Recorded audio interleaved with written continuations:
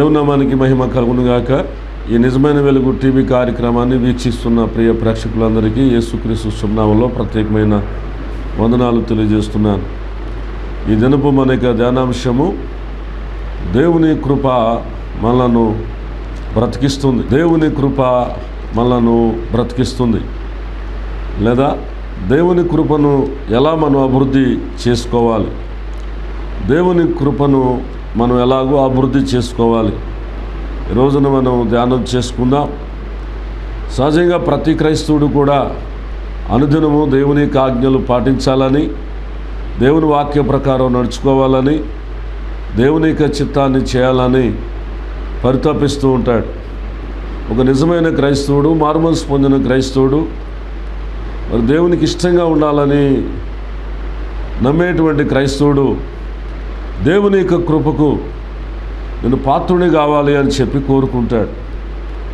ఎందుకనంటే అనుదినము కూడా దేవుని కృపను కనుక మనం పొందుకోగలిగినట్లయితే మనము దేవుని యొక్క శాసనాలను గైకొనగలుగుతాం దేవుని యొక్క ఆజ్ఞలను పాటించగలుగుతాం.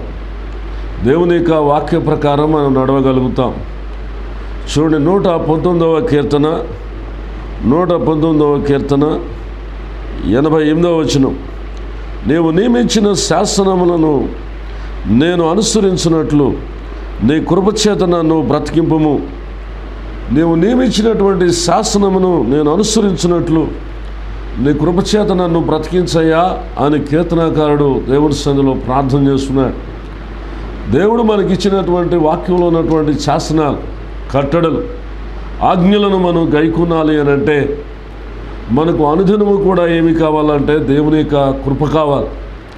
ఎవరి జీవితంలో అయితే చాలినంత దేవుని కృపను పొందుకుంటారో వారు తప్పనిసరిగా వాళ్ళు దేవుని యొక్క ఆజ్ఞలను పాటించగలుగుతారు. వారు తప్పనిసరిగా దేవుని యొక్క వాక్య ప్రకారం నడుచుకోగలుగుతారు.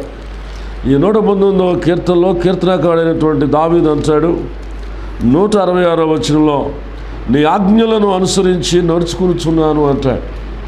నీ ఆజ్ఞలను అనుసరించి నడుచుకునిచున్నాను అంటాడు శాసనాలను గైకుంటున్నాను అంటాడు నీ వాక్యాన్ని అనుసరించి నడుచుకుంటున్నాను అంటాడు కాబట్టి దేవుని యొక్క వాక్యాన్ని అనుసరించి నడుచుకోవటానికి ఆజ్ఞలను అనుసరించి నడుచుకోవటానికి శాసనములను అనుసరించి నడుచుకోవటానికి దావిదికి ఏం ఉపయోగపడిందంటే దేవుని యొక్క కృప ఉపయోగపడింది.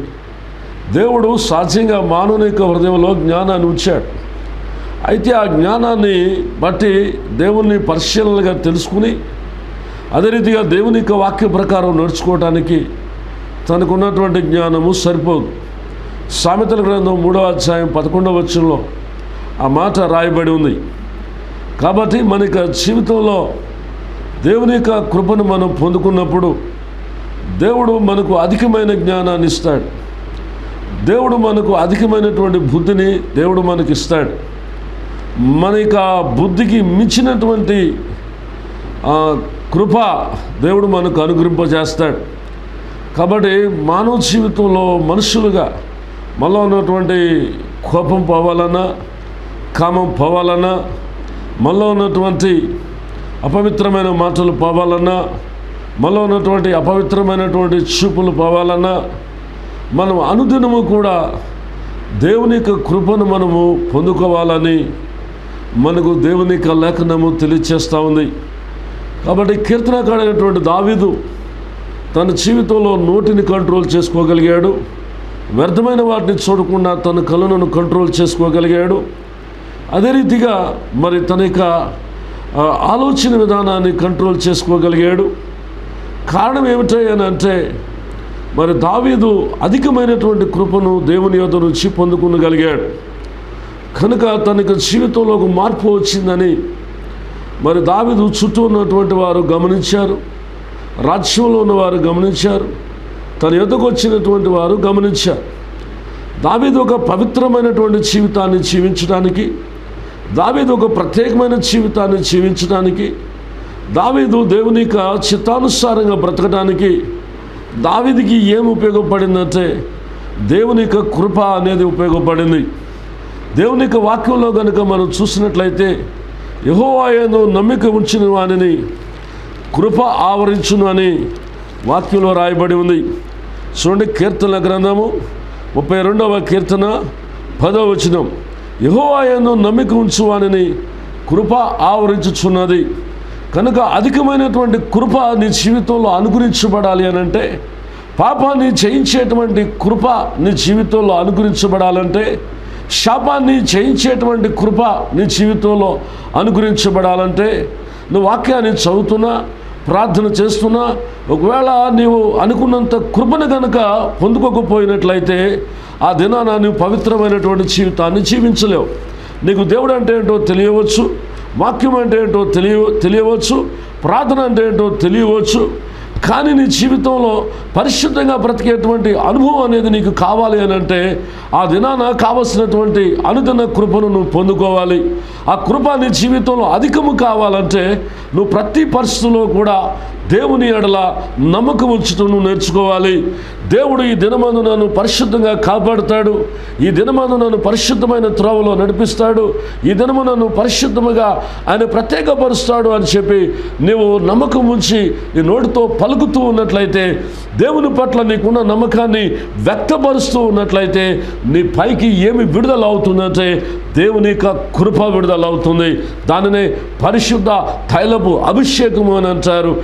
కాబట్టి నీ తల మీదకు దేవుని యొక్క అభిషేకం విడుదల అవ్వాలంటే నీ కనుల మీదకి దేవుని యొక్క అభిషేకం విడుదల అవ్వాలంటే నీకు నోటి మీదకి దేవునికి కృప విడుదల అవ్వాలి అని అంటే నీక హృదయం మీదకి చాలినంతగా దేవుని యొక్క కృప విడుదల అవ్వాలి అని అనుక్షణము కూడా మన జీవితాల్లో దేవుడు మనకిచ్చే ప్రతి క్షణములో కూడా ఏమండి దేవుని కృపయందు మనము నమ్మకాన్ని ఉంచాలి. కాబట్టి దావిధిలో అపవిత్రమైన చూపులు లేకుండా విచారపు చూపులు లేకుండా కామపు చూపులు లేకుండా మోహపు చూపులు లేకుండా దావిదు ఏమండి దేవుని యొక్క కృపను తన కనులెదుట ఉంచుకుని ఉన్నాడు. చూడండి కీర్తన గ్రంథము కీర్తనల గ్రంథము ఇరవై ఆరవ కీర్తన మూడవ వచనం నీ కృప నా కనులెదుట ఉంచుకుని ఉన్నాను. నీ సత్యమును అనుసరించి నడుచుకునిచున్నాను. సత్యం అనగా ఆయనక వాక్యము. ఆయనక వాక్యమే సత్యమై ఉన్నది. కాబట్టి ఆయన వాక్యాన్ని అనుసరించి దావీదు నడుచుకోవటం గల కారణం ఏమిటంటే దావీదు తన కనులతో దేవుని కృపను చూడగలుగుతున్నాడు. చెట్టుకు మంచు ఆవరించినట్లుగా తనను దేవుని యొక్క కృప ఆవరించిందని దావీదు నమ్ముతూ ఉన్నాడు. కాబట్టి నమ్మిన ఎడల మీరు నా మహిమను చూచెదరు అని యేసుక్రీస్తు ప్రభు వారు తెలియజేశాడు. కాబట్టి నువ్వు దేని యందు నమ్మకం ఉంచాలి అని అంటే దేవుని కృపయందు నువ్వు నమ్మకం కనుక ఉంచినట్లయితే నీ జీవితాల్లో దేవుని కృప అనుగ్రహించబడుతుంది. నువ్వు పవిత్రమైనటువంటి చూపులు చాలి కలిగినటువంటి చూపులు ప్రేమ కలిగిన చూపులు కనికరము కలిగినటువంటి చూపులు నువ్వు చూడగలుగుతావు. ఎందుకనంటే దేవుని కృప నీ కనులను ఆవరించినప్పుడు నీ జీవితంలో నీ కనులు నీ చూపు మార్చబడుతుంది. కాబట్టి ప్రతి వారు కూడా ఏమని కోరుకుంటారంటే ఒక మార్పు చెందినటువంటి జీవితాన్ని జీవించాలని కోరుకుంటారు. ఒక మాదిరికరమైన జీవితాన్ని జీవించాలని కోరుకుంటారు. కాబట్టి దేవుని యొక్క కృప మనకు జీవితాల్లో అనుగ్రహించబడినప్పుడు మన పాప విషయంలో ఏమైపోతామంటే మరణమైపోతాము. పరిశుద్ధంగా జీవించేటువంటి విషయంలో మనము శివం కలిగినటువంటి వారిగా మారిపోతాము. అది అపోస్తున్నటువంటి పౌలు చెప్తూ ఉన్నాడు. ఏమండి? ఆయనతో కూడా మనం చనిపోయినటువంటి వారమైతే ఆయనతో కూడా బ్రతుకుతాము అంటున్నాడు. దానికి అర్థం ఏమిటనంటే మన హృదయంలో ఉన్నటువంటి పాప నియమం విషయంలో మనం చనిపోవాలి అని పౌలు గారు తెలియచేస్తున్నాడు. కానీ మానవునిక జ్ఞానాన్ని బట్టి కానీ మానవునిక బుద్ధిని బట్టి కానీ ఈ మనుషుడు పాపం విషయంలో చనిపోడు కానీ దేవుని కృపయందు నమ్మకం ఉంచినప్పుడు ఆ కృప నీ హృదయం మీద కుమ్మరించబడినప్పుడు నీవు ఏమంటే పాపం విషయంలో మరణమైపోతావు. పరిశుద్ధతలో జీవించేటువంటి విషయంలో క్షేమము కలిగినటువంటి వాడిగా ఉంటావు.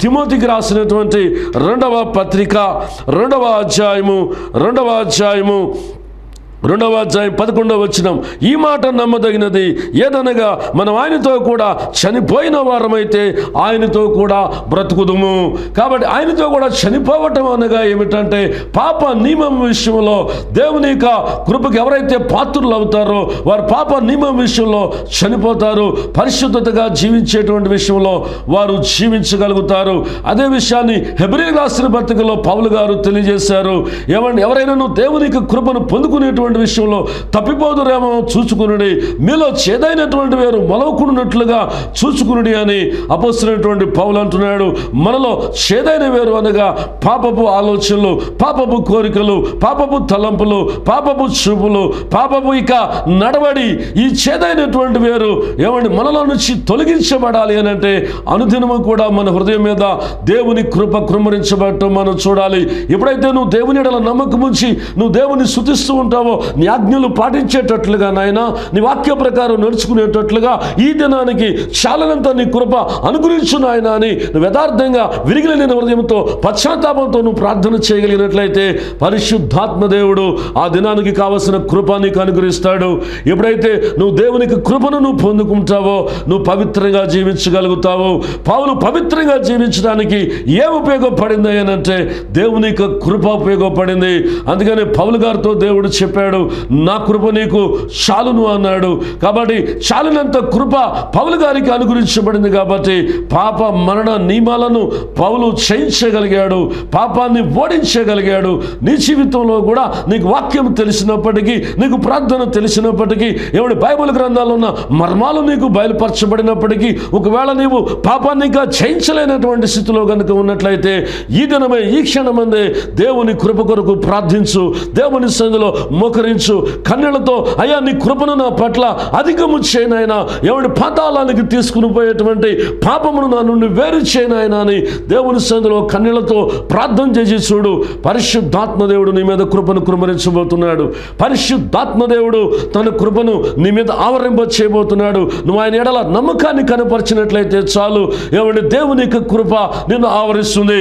ఎండాకాలంలో ఉన్నప్పుడు మనం ఒక ఏసీ రూమ్లో ఉన్నప్పుడు ఏమి జరుగుతున్నాయి అంటే ఏమండి ఆ చల్లదనం అనేది మనకి శరీరాన్ని ఎలా అయితే ఆవరిస్తూ ఉంటుందో అలాగనే ఈ లోకం అనేటువంటి ఈ ఈ చెడు ప్రపంచంలో ఈ పాప బంధకాల్లో ఉన్నటువంటి మన యొక్క జీవితాల్లో దేవుని ఎడల నమ్మకం ఉంచినప్పుడు దేవుని యొక్క కృప మన సర్వ శరీరాన్ని కూడా ఆవరిస్తుంది. అప్పుడు మనలో ఉన్నటువంటి భక్తిహీనత మనలో ఉన్నటువంటి పాపము మనలో ఉన్నటువంటి శాపము మనల్ని విడిచిపెట్టిపోతాయి. అప్పుడు మనం దేవుని కొరకు ఓ ప్రత్యేకమైనటువంటి వ్యక్తిగా మనం బ్రతకగలుగుతాము. అందుకని చాలినంత కృప ఏమండి కీర్తనకారుడు పొందుకునగలిగాడు కనుక నీ కృప నా పట్ల అధికమైందయ్యా అని చెప్తున్నాడు.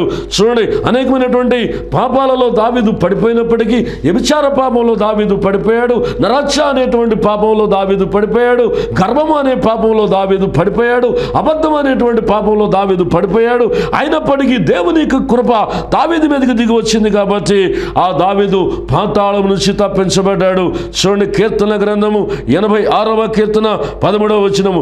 ప్రభా నా దేవా నా ఎడలను చూపిన కృప అధికమైనది. పాతాళపు అగాధము నుండి నా ప్రాణమును తప్పించున్నావు అంటున్నాడు. దావిదులో ఒక నిరీక్షణ ఉంది. పాతాళం నుంచి తప్పించబడేటువంటి పాపమును దావిదు చేయకున్నట్లుగా దేవుని కృప దావిదును ఆవరించింది. కాబట్టి నీ జీవితంలో దేవుని కృప హెచ్చు కావాలంటే నువ్వు దేవుని ఎడల నమ్మకాన్ని ఉంచాలి. అనుక్షణము కూడా నీ మనస్ఫూర్తిగా దేవుని ఎడల ఎప్పుడైతే నువ్వు నమ్మకాన్ని కనబరుస్తావో నీ మాటల్లో నమ్మకాన్ని కనపరుస్తావో ఈ దినానికి కావలసిన కృప దేవుడు అనుగ్రహిస్తాడని నువ్వు ఎప్పుడైతే నమ్ముతావో ఖచ్చితంగా దేవుని కృప నిన్ను ఆవరిస్తుంది. దావిదును ఆవరించినటువంటి కృప నిన్ను కూడా ఆవరిస్తుంది. పౌలను ఆవరించినటువంటి ఆ కృప నిన్ను కూడా ఆవరిస్తుంది. దావిదు పరిశుద్ధంగా జీవించడానికి అనుగ్రహించబడిన కృప నీకు కూడా అనుగ్రహించబడుతుంది. పౌలు పరిశుద్ధంగా జీవించడానికి కావలసిన కృప అనుగ్రహించబడిన కృప నీకును అనుగ్రహించబడుతుంది. కాబట్టి ప్రియమైన దేవుని కుమారుడా దేవుని కుమార్తె ఈ మాటలు వింటున్నట్టు వింటున్నటువంటి దేవుని బిడ్డ నీ జీవితంలో అధికమైనటువంటి కృపకు నువ్వు పాత్రుడు అయ్యావా అధికమైనటువంటి కృపను పొందుకునేటట్లుగా నువ్వు ప్రార్థన చేస్తున్నావా? ఏమండి ఏమని కృపయందు అభివృద్ధి పొందుడి అని పేతురు భక్తుడు చెప్తున్నాడు. కృపయందు అభివృద్ధి పొందుడి అని చెప్పి పౌరు భక్తుడు చెప్తున్నాడు. కృపలో మనం ఏమవ్వాలంటే అభివృద్ధి చెందాలి. ఈ లోక సంబంధమైనటువంటి వాటిలో మనం అభివృద్ధి చెందటం ద్వారా మనము ఆశీర్వాదకరంగా బ్రతకలేము కానీ ఈ లోక సంబంధమైన సంపదలో కానీ ఈ లోక సంబంధమైన వస్తువులు సంపాదించుకోవడంలో కానీ ఈ లోక సంబంధమైన పేరు ప్రఖ్యాతులు సంపాదించుకోవడంలో కానీ ఈ లోక సంబంధమైనటువంటి వాటిని మనం సమకూర్చుకోవటం వలన ఏమండి మనము పాపాన్ని చేయించలేము కానీ దేవుని కృపను ఎప్పుడైతే మనము అధికముగా దేవుని సందులో మనం సంపాదించుకుంటామో ఆ అధికముగా దేవుని కృపను సంపాదించుకునేటట్లుగా మనం దేవుని సందులో ప్రార్థన చేయగలుగుతామో కన్నీరు కార్చగలుగుతామో పరిశుద్ధ పరిశుద్ధాత్మ దేవుడు నీ పట్ల కృప చూపించి పాప నియమా ఆయన నిన్ను తప్పిస్తాడు. పాతాళమైనటువంటి చెర నుంచి ఆయన నిన్ను తప్పిస్తాడు. ఈ లోకమైనటువంటి చెర నుంచి ఆయన నిన్ను తప్పిస్తాడు. ఆయన ఒక ప్రత్యేకమైనటువంటి వ్యక్తిగా దేవుడు నిన్ను మార్చేస్తాడు. మరి దేవుని కృపను పొందుకోవడానికి నీవు యోగ్యుడిగా ఉన్నావా? దేవుని కృపను పొందుకోవడానికి నువ్వు అర్హుడుగా ఉన్నావా? ఎవరైతే దేవుని కృపను వారికి జీవితాల్లో పొందుకున్నారో వారికి ప్రత్యేకమైనటువంటి జీవితాన్ని వాళ్ళు జీవించగలిగారు. ఎవరైతే దేవుని కృపను పొందుకునగలిగారో వాళ్ళు పాప అంటకుండా ప్రభు కొరకు పరిశుద్ధంగా వారు బ్రతకగలిగారు. కాబట్టి నువ్వు దేవుని కృపకు పాత్రుడవయ్యావో లేదో ఒకసారి నేను నువ్వు పరిశీలన చేసుకో పరీక్షించుకో. దేవుని యొక్క కృప మన పైన కృమరించబడినప్పుడు మనం బలపరచబడతాము. మనం బలపరచబడతాము. దేవుని కృప మనం ఏమి చేస్తుందంటే ఆత్మ సంబంధమైనటువంటి శక్తిని మనకు అనుగ్రహిస్తుంది. కీర్తన గ్రంథము తొంభై నాలుగవ కీర్తన పద్దెనిమిదవ వచనము. నా కాలు జారినని నేను అనుకున్నగా యెహోవా నీ కృప నన్ను బలపరచుచున్నది. నీ కృప నన్ను బలపరచుచున్నది. దేవుని యొక్క కృప భక్తుడు ఏం చేస్తుందంటే బలపరుస్తుంది బలపరుస్తుంది. దేవుడు మనకు ఆత్మ సంబంధమైన శక్తిని కనుక ఇవ్వకపోయినట్లయితే మనము ఎవరి ఈ భూమి మీద మరి సంతోషంగా మనం బ్రతకలేము? ఈ భూమి మీద మనం సంతోషంగా బ్రతకాలి అని అంటే మన జీవితాల్లో మనకేమి అవసరం అంటే దేవుని యొక్క కృప అనేది మనకు అవసరము. మొట్టమొదటిగా దేవుని కృప మనకు దేనికి అవసరం అంటే ఈ భూమి మీద మనము పరిశుద్ధంగా బ్రతకడానికి దేవుని కృప అనేది మనకు అవసరము. రెండవదిగా దేవుని కృప అనేది మనకు ఎందుకు అవసరం అంటే సంతోషంగా బ్రతకడానికి మనకు దేవుని కృప అనేది అవసరము. దేవుని కృప ఆనాడు మోసే భక్తుని మీద కురుమరించబడేంత వరకు కూడా మోసే భక్తుడు దేవుని సందులో కనిపెట్టి ప్రార్థన చేసేవాడు. ఎందుకంటే తగినంత కృప దేవుని దగ్గర నుంచి కనుక పొందుకోకపోయినట్లయితే ఆ దినాన మోసే సంతోషంగా ఉండేవాడు కాదు. తొంభైవ కీర్తన పద్నాలుగవ వచనము ఉదయమున నీ కృపతో మమ్మను తృప్తిపరచము. అప్పుడు మేము మా దినములన్నీ ఉత్సాహించి సంతోషించదము. చూడండి దేవుని యొక్క కృప చాలినంతగా ఏ భక్తుడి జీవితంలో అయితే కృమరించబడుతుందో ఆ భక్తుడు ఆ దినమందు దేవుని ఎందు ఆనందించగలుగుతాడు. నిజమైనటువంటి సంతోషాన్ని కలిగి ఉండగలుగుతాడు. నిందలలో సంతోషాన్ని కలిగి ఉంటాడు. అవమానాల్లో సంతోషాన్ని కలిగి ఉంటాడు. వ్యతిరేకతల్లో సంతోషాన్ని కలిగి ఉంటాడు.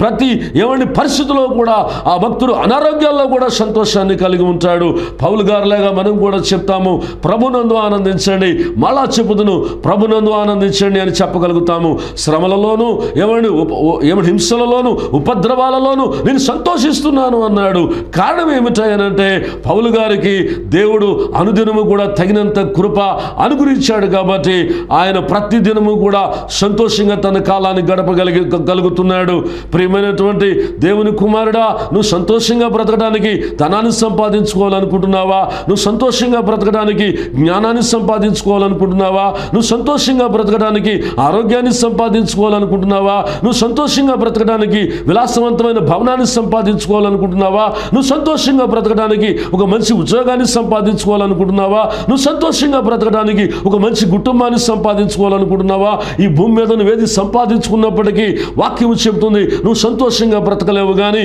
ఎవని ఎవ- దేవుని యొక్క కృపను గనుక నీ జీవితంలో నువ్వు సంపాదించుకోగలిగితే తగినంత కృప నీ పైకి వచ్చేంత వరకు నువ్వు కన్నులతో ప్రార్థన చేయగలిగితే నువ్వు తగినంతగా దేవుని సందులో కనిపెట్టగలిగితే ఆ దినానికి కావలసిన కృప నీ నీ పైన కురమరించబడితే ఆ దినమందు పౌలు గారులాగా నువ్వు కూడా చెప్తావు ఏమండి? ఆ- ఆయన నా హృదయంలో సంతోషాన్ని పుట్టిస్తున్నాడు. నేను సంతోషిస్తున్నాను అని చెప్పగలుగుతాడు. మన సంతోషము పరిపూర్ణము చేసేది ఎవరంటే దేవుడే. ఈ భూమి మీద మానవుడు సంతోషంగా బ్రతకడానికి రకరకాలైన ప్రయత్నాలు చేస్తున్నాడు. సెల్ ఫోన్లో రకరకాలైన వాటిని చూస్తూ ఆనందిస్తూ ఉన్నాడు. టీవీలో రకరకాలైన వాటిని చూస్తూ ఆనందిస్తున్నాడు. అనేకమైనటువంటి ఏమండి? సంతోషకరమైన కార్యక్రమాలు విందులు విలాసాలు అనేకమైన వాటిని చేస్తున్నాడు. కానీ మానవుడు తన జీవితంలో నిజంగా సంతోషించలేకపోతున్నాడు. నీ జీవితంలో నీ హృదయంలో యేసు నీ హృదయంలో చేర్చుకున్నావా? వాక్యం తెలుసు అని చెప్తున్నా నీ జీవితంలో ప్రార్థన తెలుసు అని చెప్తున్నా నీ జీవితంలో ఏమని దేవుడు అంటే ఏంటో తెలుసు అని చెప్తున్నా నీ జీవితంలో నిజంగా నీ నీకు హృదయంలో దేవుడు ఉన్నాడా ఉన్నట్లయితే నువ్వు సంతోషంగా జీవించగలుగుతావు. పరిచయం అనుకున్నాడు నేను వారానికి రెండు దినాలు ఉపవాసం ఉంటున్నాను. దశం భాగాన్ని నేను క్రమంగా ఇస్తున్నాను. విశ్రాంతి దినాన్ని నేను పాటిస్తూ ఉన్నాను.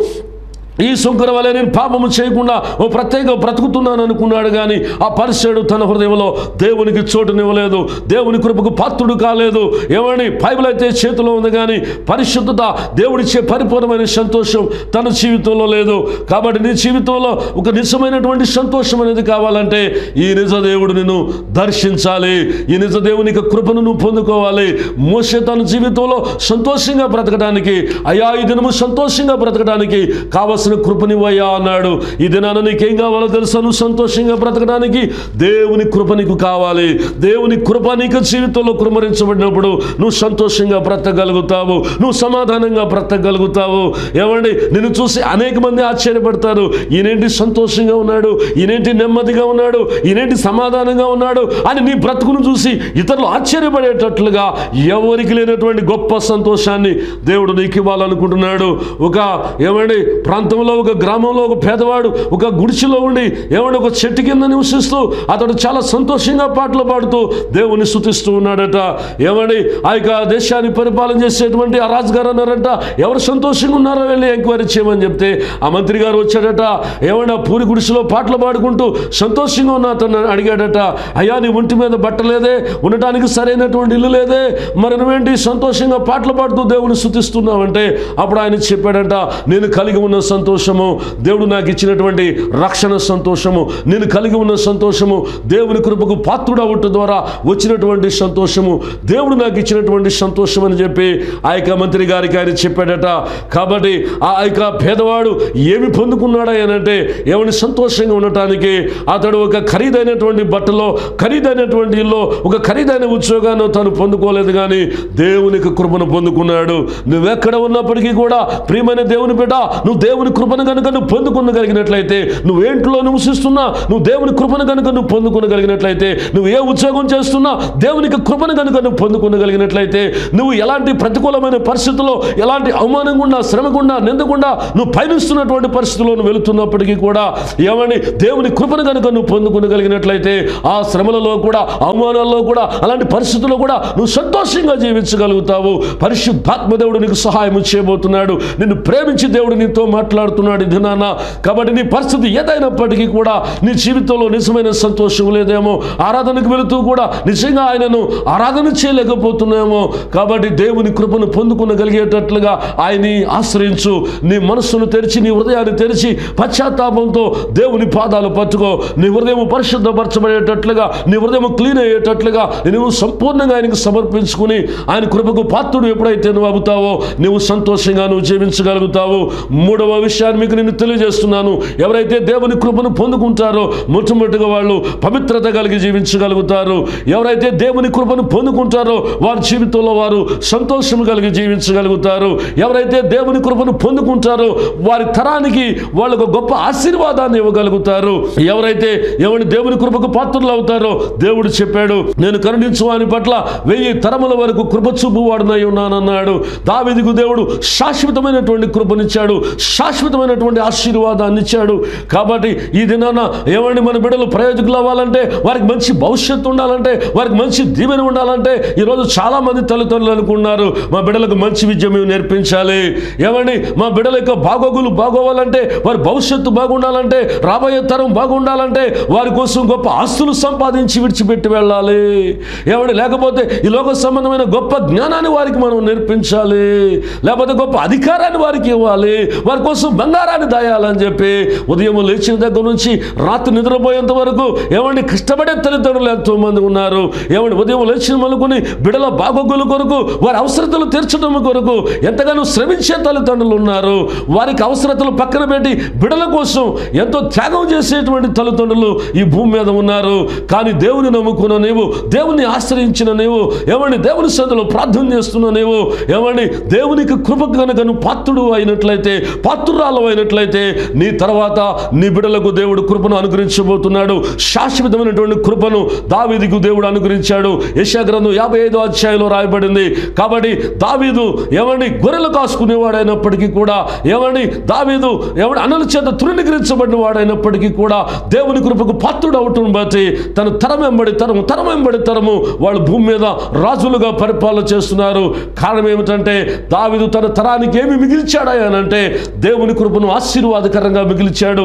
ప్రియమైన దేవుని కుమారుడ దేవుని కుమార్తె నీవు కూడా దేవునికి కృపను గనుక ఆ నిశ్చయమైన కృపను గనుక నువ్వు పొందుకొనగలిగినట్లయితే నీ బిడలకు కూడా దేవునికి కృప గనుక వచ్చినట్లయితే ఏమండి నీ బిడలు ఏమవుతారంటే ఆశీర్వదించబడతారు. వారు కూడా భయభక్తుల్లో ఏమండి పెరగగలుగుతారు. యహోవాయందు భయభక్తులు గలవారి ఎడల భూమి కంటే ఆకాశం ఎంత హెచ్చుగా ఉందో అంత హెచ్చైనటువంటి కృపనిస్తానని దేవుడు వాగ్దానం చేశాడు. నువ్వు దేవుని దేవునికి ఆజ్ఞలు పాటించు దేవునికి శాసనాలు గైకొనుకో దేవుని కృప మీద ఆధారపడి దేవుని ఎడ భయభక్తులు కలిగి నువ్వు జీవించు. ఖచ్చితంగా దేవుడు నీ బిడలను దీవించబోతున్నాడు. ఖచ్చితంగా దేవుడు నీ బిడలను దేవుడు ఆశీర్వదించబోతున్నాడు. కనుక ఈ లోక సంబంధమైనటువంటి ప్రయత్నాలను విడిచిపెట్టి దేవుని కృపకు పాత్రుడు కావాలని చెప్పి నువ్వు కోరుకో. ఏమండి నా బిడ్డలు దేవుని కృపకు పాత్రులు కావాలని వారి దేవుని ఎడల భయభక్తులతో పెంచాలని కోరుకో. నీవు కూడా యథార్థంగా నీతిగా భక్తి చేయటం నువ్వు నేర్చుకో. నిన్ను బట్టి నీ తరాన్ని దేవుడు దీవించబోతున్నాడు. నిన్ను బట్టి నీ బిడలను దేవుడు దీవించబోతున్నాడు. నిన్ను బట్టి నీ వంశాన్ని దేవుడు దీవించబోతున్నాడు. ఏమండి? ఆ యొక్క మరియా దేవుని కృపకు పత్రురాలైంది కాబట్టి యేసుక్రీస్తు ప్రవారికి ఏమండి జన్మనివ్వగలిగింది కాబట్టి ఏమండి? తన తరానికి ఒక ఆశీర్వాదాన్ని మిగిల్చగలిగింది. కాబట్టి నీవు కూడా ఒక ఆశీర్వాదాన్ని మిగిల్చాలని దేవుడు కోరుకుంటున్నాడు.